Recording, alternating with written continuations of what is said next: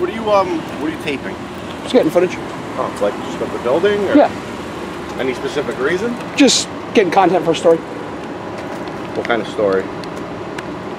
It's Well, it's not published yet, so I'm not gonna divulge what it is. What's your name and badge number? Ser- Sergeant Frank Leone, Thank you. What's your uh, badge number? 738. Thank you. Okay, you got it? You got ID on you? No. Yeah, We need ID. we need ID. For a First Amendment protected activity? It's actually a security issue. Security issue? Yeah, you're videotaping the police station. I'm getting. I'm a journalist getting content for a story.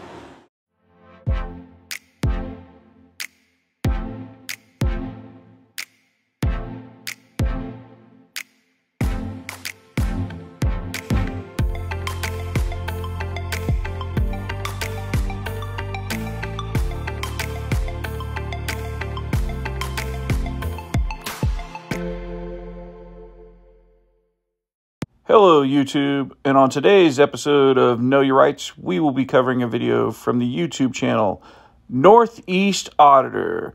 Please take a moment and go over and check out his YouTube channel and show him some love by subscribing to his channel. Before we break down this footage, I want to take a moment and talk to you about We the People University. If you haven't heard about this online course, I want to let you in on a little secret.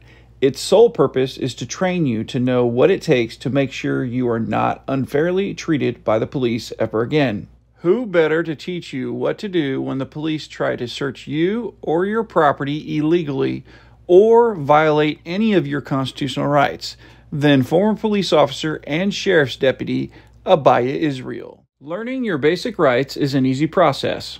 The only thing it takes is you being willing to learn. Do you want to learn all the trick questions that police ask during a traffic stop? Do you want to take back control from the police? If so, please click on the link in the description below. You will learn the secret of taking control of your constitutional rights back from the tyrants who abuse the law. Now let's get into today's video. Today's video took place on October 30th, 2018, in front of the Waterbury Police Department in Waterbury, Connecticut. The auditor was walking around the perimeter of the police department filming when he was approached by Sergeants Frank Leone and Matt Benoit. What ensues is the officers demanding the auditor's ID based on nothing other than it being suspicious that a man is videotaping the police department. Now, let's dive right into today's video and break down this footage. What are you um what are you taping? Just getting footage. Like just of the building or Yeah, any specific reason? just getting content for a story. What kind of story? It's Well, it's not published yet, so I'm not gonna divulge what it is. What's your name and badge number? Ser- Sergeant Frank Leone, Thank you. What's your uh, badge number? 738. Thank you. Okay, you got it? You got ID on you? Yeah. No. Yeah, We need ID. we need ID. For a First Amendment protected activity? Well, it's actually a security issue. Security issue? Yeah, you're videotaping the police station. I'm getting. Con- I'm a journalist getting content for a story. Which is fine. So you'd have no problem then giving us. Why would I have to give you my ID for performing a legal activity? How do we know it's legal? How do we I'm on you're a, not- I'm on a, how do we I'm on a public not- sidewalk. How do we know you're not planning on blowing up the building? Uh, Shooting. I mean, I have no ill will, if that's what you're asking. Okay. I didn't know that. Well, that's the that's the beauty of the Constitution. You don't need to know that, right? Um, I'm filming in a public, Okay, and we're legally asking you for your ID. and that is that what- that's a lawful order. that is lawful. Are you sure? Yeah, I'm positive. Okay. This question comes up a lot on whether a state is a stop and ID state or not a stop and ID state. In short, Connecticut is not a stop and ID state. This means that police would not usually have the right to demand ID from you. That means they could not arrest or detain you should you fail to produce identifying documents when asked. This auditor was walking on a public sidewalk around the perimeter of the police department and never went inside the police department or any restricted areas. So he is under no legal obligation to show IDs to these officers. Well, I'm not going to provide my ID. Okay. There's no reason I haven't performed any illegal act. I'm on a public sidewalk, as you can see. Yes, filming the police department. Yeah. It's supposed to be secure. We don't want people coming here and This is shooting a the place public up. building. Yes. Yes. Yes, that, that, and there is very public. It's a secure pub- building. It's not We, a public- we own this building. It's not a public building. You Well, the sergeant just made a completely false statement.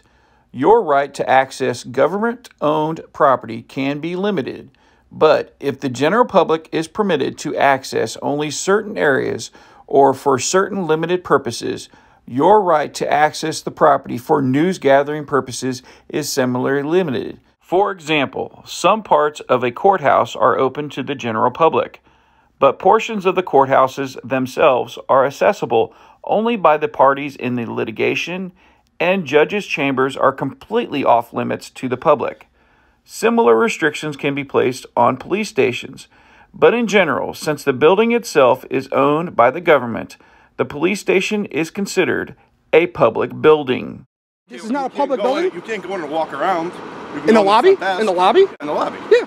You're allowed in the This is a public building. I'm filming from the outside on a public space. You're not allowed to videotape the police station. You most certainly can. No, you're not, can't actually. Uh, you most, I'm a thousand percent sure you can film anywhere outside. Okay, Are you sure about that? Sure. Yeah, actually. Okay. I am. You're sure about that as well? Yep. Okay. Well, I'm not going to provide my ID. I haven't performed any illegal activity. Can you articulate a crime I've committed or Reasonable suspicion. of, of, of what crime? Reasonable, I don't know if you're about to blow up the building, if you're setting plans. Well, can you articulate a crime I've committed? You're videotaping secure areas of the place. That's not a crime. So I'm going to need you to let me know what Reason- crime I've committed. Reasonable suspicion. You do not have to commit a crime. Okay, am I being detained right now or am I free to go? yes, you're Okay, on what, under what suspicion of what crime? Reasonable suspicion. I don't know Are you why sure you're about here. this? I'm positive. Okay. So this is I, gonna go I, one of- I would I would one of- ask for a supervisor to come out at this point because supervisors, okay. yes, that's well, why we're well, Provide identification or not. I- I'm not providing any identification. I've done Put your hands nothing behind wrong. your back, you're being detained. Okay, that's fine. I'm gonna hold the camera. Yeah, please don't turn it off. Thank you.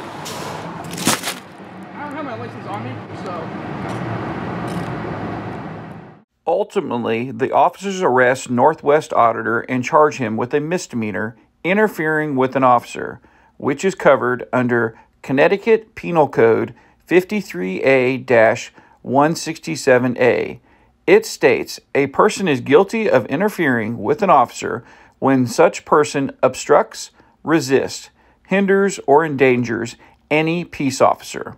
Northwest Auditor had to fight this in court for nearly two years, and the case was finally thrown out on May 21st, 2021. What are your thoughts on why it took the courts nearly two years to throw this case out? Let me know in the comments below.